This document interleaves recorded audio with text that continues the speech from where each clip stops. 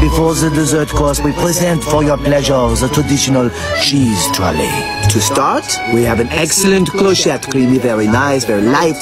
Next, a brebis, hearty, with a surprising bite. I think you'll find. And finally, the pièce de résistance, very special, very well.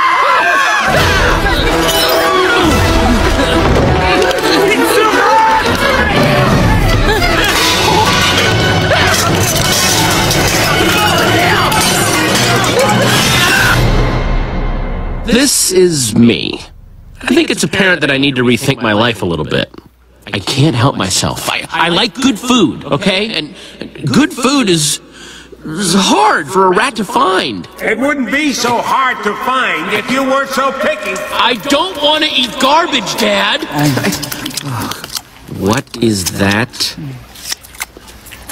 I don't really know. You don't know, and you're eating it. You know, if you can sort of muscle your way past the gag reflex, all kinds of food possibilities open up. This is what I'm talking about.